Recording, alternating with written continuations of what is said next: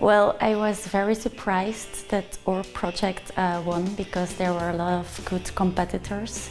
Um, I feel very happy for me and for the team, but most of all for the project. Um, and I hope we can develop uh, a nice idea or develop it further.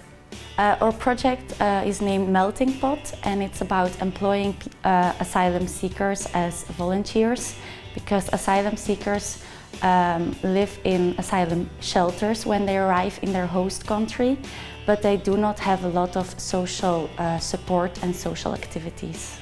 First of all, we certainly need to uh, get into contact again with the asylum uh, seeker organizations. So with them we can develop the idea uh, much further and we can uh, look for the future. The competition gave me an extra boost for sure.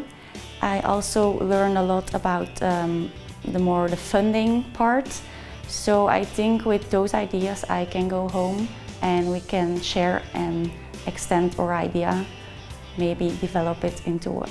We heard of it, uh, of the competition in our class and I thought it was very interesting and it would also be a chance to learn a lot about social innovation and internationalization. Uh, we learned a lot this week. There were some workshops that were very interesting.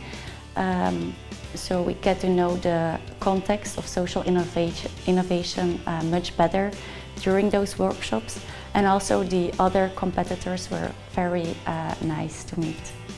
Well, we exchanged a lot. Um, it's more friendship than competitor or concurrent, so uh, we had a nice time together. The Veszprém comparing to Budapest is, I think, a difficult one.